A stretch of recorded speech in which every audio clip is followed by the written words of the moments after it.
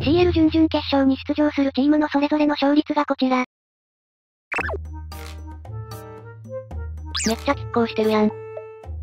アーセナルの方が高くて草。マジでどこが勝つか予想できないな。正直全部半々。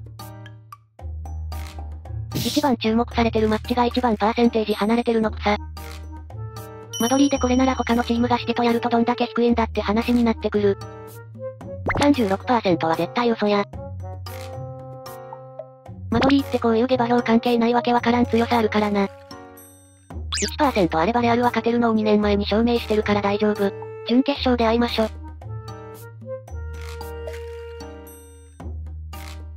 なぜか低い方が勝つんです。